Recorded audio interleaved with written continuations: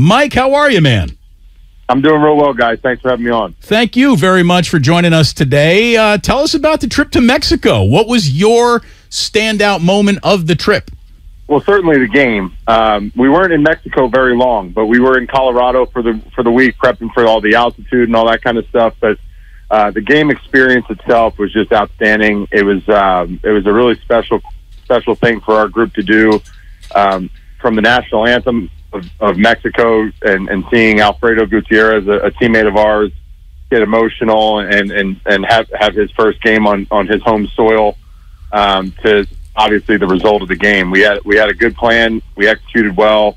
Um, had a lot of potential distractions all week long, but our guys, you know, zeroed in and and uh, and and did what we needed to do and came out with a great one against Arizona. Look, it was as an impressive win as I think we've seen in the Kyle Shanahan era, and you guys get a lot of credit for doing that, obviously. Before we get into the meat and potatoes of the game, though, did spending a few days in Colorado actually help prepare you for attitude? Yes, uh, altitude. Y- yes or no?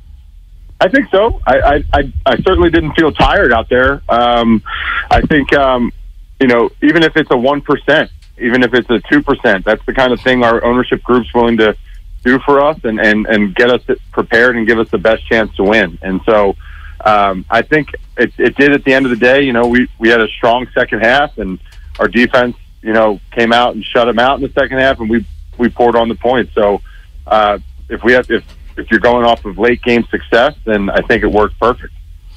Mike, I know you said it was a quick trip, and obviously it was a business trip because you definitely did take care of business. The whole team did. But please tell us you got a chance to try some real Mexican food while you were in, Me- in Mexico City. Did you get to try anything while you were out there? Uh, they had a nice taco bar lined up for us when we got to the hotel on uh, Sunday night. But other than that, we did not uh, venture out of the hotel or, or do any of that. So, um, unfortunately, did not get to experience a lot all that Mexico City has to offer. But the taco bar that we had uh, at the hotel was was pretty pretty fire. Did anybody have more fun than Kittle? It looked like George Kittle officially leads the team and had the most amount of fun possible. I I don't know. I think I had a lot of fun. I um I think George definitely came on strong and um, finally got you know a couple of the receiving productions that that he's I know he's been wanting and and, and working for and um, so that's definitely great to get him back involved and and and not that he wasn't before, but you know his, George's job encompasses just about everything football can throw at you, and I know everybody uh, loves catching touchdowns, and so to get that monkey off his back, I know was a big deal for him and.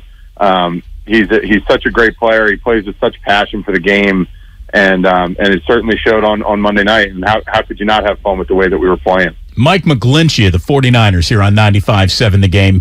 So it feels like, it looks like a different team since Christian McCaffrey started putting the uniform on. Does it feel like a different team to you right now as well? Um, I don't know if it feels like a dif- different team um, because we do have a lot of the same pieces that have been here and gone through it with all of us over the last five or uh, you know five, four or five years or so. Um, but he's definitely a great piece to add. I mean, what a what an incredibly special football player. Um, he does a lot of things for us, and uh, and he's going to continue to do a lot of things for us. And it just adds that one more piece um, that we can use in, in in the pass game and in the run game. And um, he's he's he's certainly helping our football team achieve new heights.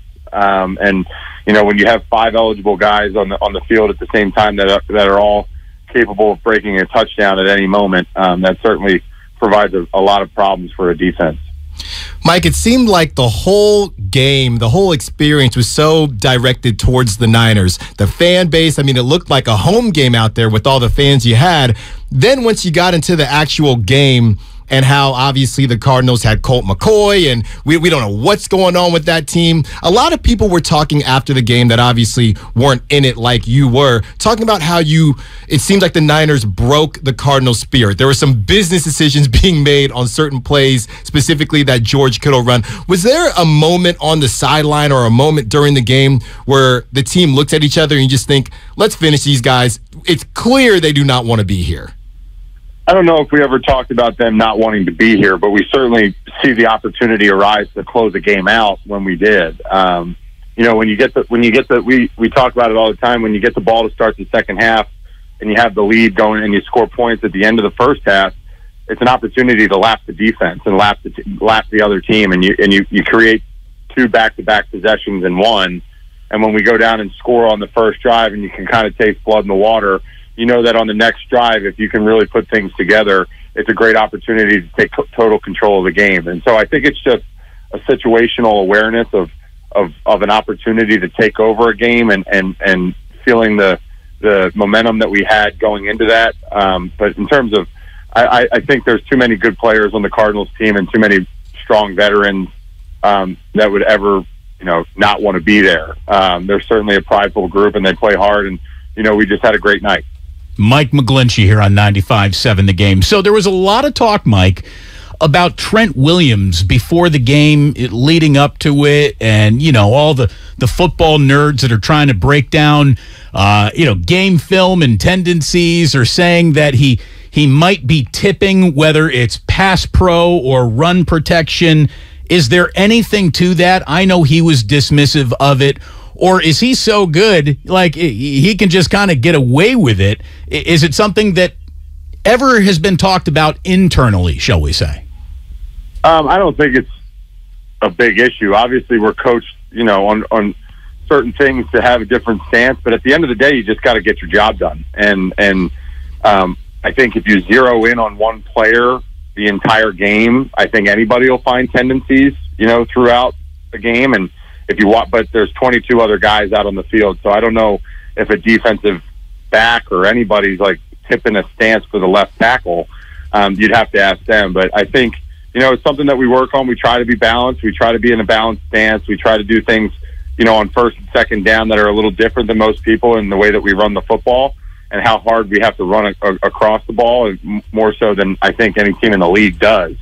And so when you do that, you kind of get a little bit, you know, power happy and trying to get out as best as you can, and whatever that is. I mean, first and second down, you're in a balanced stance. So at the end of the day, if it's third and three plus in the NFL, it's it's a pass, and everybody in the stadium knows it's a pass. So you got to do whatever you can to get to get your job done and block the guy in front of you. Um, and like you said, at the end of the day, even if you know what's coming with Trent, you still got to try and beat him. And I don't think uh, many guys in the league that that can do that. Uh, has any coach at any level? Had to uh, do a little correction with you, Mike. Were you were you ever accused of tipping your pitches in any way? Uh, do you have a tell that you work on making sure you don't tell?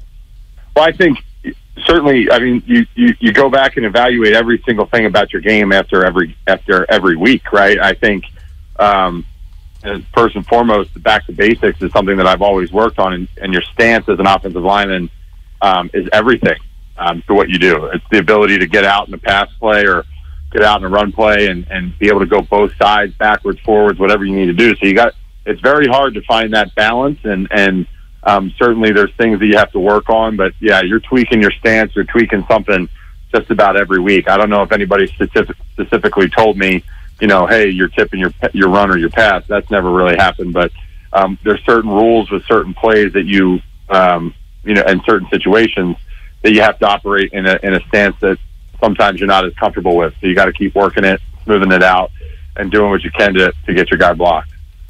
Mike, during training camp, there were a lot of question marks about the offensive line. People said you were young, you'll continue to get better, you'll continue to gel. And that was the hope. But did you, did the team, did you ever see this coming? I mean, you're not giving up sacks. Everybody is playing so well. Obviously, you wanted to improve and, and knew that there was a ceiling you could reach. But did anybody see this coming with how well the offensive line is playing? I think we certainly did in, in, in our own building. Um, you know, obviously the question mark was that we had three new starters on the inside, but the people outside of this building didn't see the way that those guys play or work every single day. Um, Aaron Banks has stepped up in a huge way and playing his absolute butt off for us. And, and Jake Brendel has done an unbelievable job of keeping us all together at the, at the center position and making some outstanding blocks himself. And then Spencer Burford, you know, he's he's done a great job coming in and competing his butt off and and and and learning as as as the years gone on. And it's tough as a rookie. You know, it's uh, I, I was in his position once of getting thrown in as a starter and and having the world kind of spin as, as fast as you've ever felt it. And um, and he's done that because of how talented he is, one, but how much of a competitor he is, and he, how prideful he is in getting his job done. And um, you could see right from when he walked into the building that this kid was going to be something that we could work with and be special. um, and, and obviously having Dan uh, Brunskill be, you know, kind of our utility man to do anything we need him to do. Um, we knew we were going to be a strong group, and um, you know, we uh, we we've had some success. We've, but you know, it's not all roses. You know, you, you have a lot of things we all need to continue to improve on in order to to make this work and achieve our goal of a Super Bowl. And um, certainly, we haven't figured out everything yet here in Week 12, but we're but the climb the climb is what's most important, and and we've certainly been doing that each week. Starting right tackle for the 49ers, Mike McGlinchey here on 95.7 The Game. Damon Bruce and Allen Stiles with you here on a Wednesday afternoon. So, not that Jimmy Garoppolo has ever lacked confidence, but it looks like he has found a level of confidence, a level of comfort. I'm guessing all quarterbacks become more comfortable when they got nice, clean pockets, which you're giving them. But are you sensing a, a different Jimmy Garoppolo? Is this a uh, uh, Jimmy on a revenge mission? Is it a more at peace and more zen Jimmy, Jimmy 2.0, or is it just Jimmy is Jimmy is Jimmy is Jimmy? I think it's the second one. I think Jimmy's strongest trait um, and especially as a leader, but certainly as a quarterback, is that he's the same guy every single day in any situation. Um, you know exactly what you're going to get from him. He's he's you know for all the crap that's been thrown at him over the last four or five years, whatever anybody has wanted to say about him, the only thing the guy does is show up and win games, and he's been doing that since he's been here. He's been doing that with all class and with with grace and with a competitive spirit that's unmatched and all Jimmy wants to do is show up, win football games. He doesn't care that he's not the guy that's, you know, loved throughout the media. He's not the quarterback that's the darling that is, you know, potentially MVP. Can whatever whatever anybody wants to say about a quarterback. Um, Jimmy has been unbelievable, and to watch him as a teammate go through this, and then still show up and deliver each and every week, and try and continually try to get better, um, is certainly his best quality. And and um, no, nobody in our building ever questioned how good he was. It was. Um, I don't understand why he gets so much crap on the outside world um, because all he does, like I said, all he does is show up and win. And um, and he's so he's such a fun teammate to play with, and uh, it's certainly an admirable quality that I hope a lot of young athletes around the country are are, are looking up to because it's a hard world out there, especially with how exposed everyone is with media, social media, criticisms, and everything the only thing he's done is stay the course and get better. And um, we're certainly reaping the rewards of that right now. Does the revamped offense now with Christian McCaffrey, with this peak Garoppolo that we're seeing, does it feel to you that Kyle Shanahan is now more comfortable to be more aggressive with the play calls that he sends into the huddle? Because it looks like you know, you guys now have the skeleton key in Christian McCaffrey to unlock opportunities for guys to get loose all over the field. Does it feel looser now that that Kyle has, you know, the the, the offense that he he absolutely wanted to have? I don't think it feels any different, to be honest with you. I think because we've had great backs here. We've had pl- people that can play. We've had people that are, are, are capable of doing a lot of different things. I think Kyle's always been aggressive. There isn't ever a time that I've played for him that he has not been an aggressive head coach or play caller or however you want to see it. Um, certainly, the players that we have right now are, are uh, you know are very flashy and very good, but they're but they're just teammates and they're good players and they're unselfish. And so you saw us against Arizona have everybody get involved, and I think that's what it is. It's the balance, the, the, the ability to have the balance of every single skill position um, being able to create and make plays no matter the opportunity. And, and, and Kyle has always been the best at finding the matchup that works best and every single down and distance and every play. So I don't think it's anything that's changed within him. I don't think it's anything that's changed within our offense. I think it's just guys understanding how we can get better and guys taking the opportunity that they have and running with it. Mike, this season has some of the craziest parity we've seen in the NFL. It seems like the last couple years, specifically in the NFC. Earlier in the season, when the team, you know, dropped some games you probably felt you could have had, was it nice to look up at the score when you were done, look at the different scoreboards and see, oh wow, none of these teams have figured it out yet? Or did you still just look at those games as missed opportunities?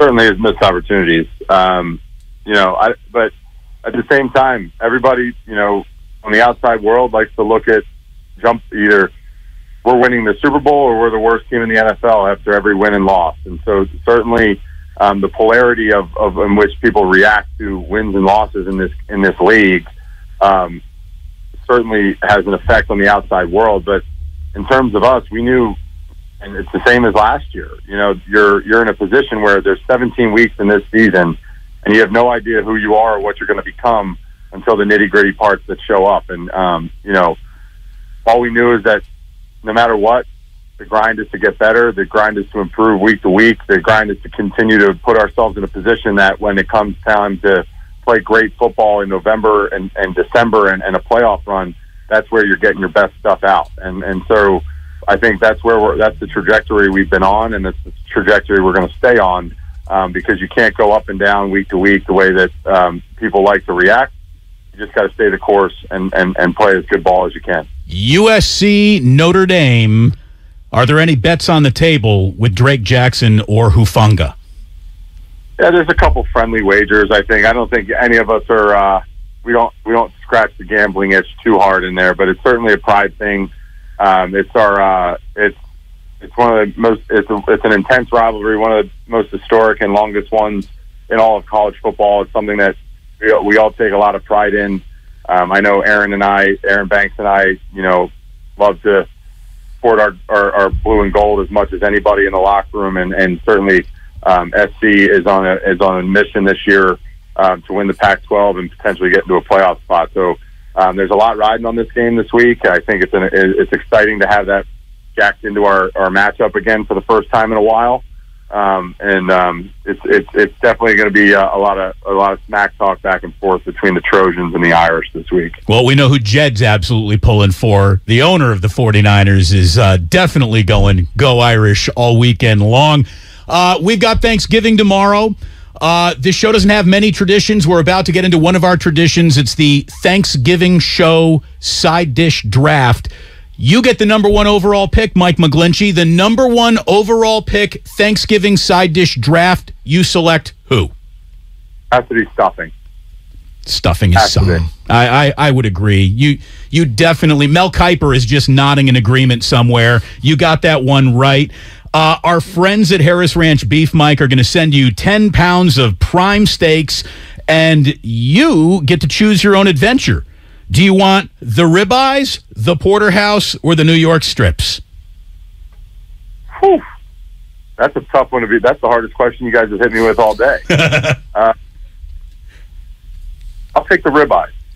That is also the correct answer, if you don't mind me saying. Mike, it was great to talk to you. Thank you for joining us. Good luck coming this weekend against the New Orleans Saints. Good luck to your Irish. Our producer is saying fight on over here, so uh, we'll just ignore him the rest of the way. But we really appreciate you joining us today. Thanks very much, and happy Thanksgiving. Same to you guys. Thank you very much.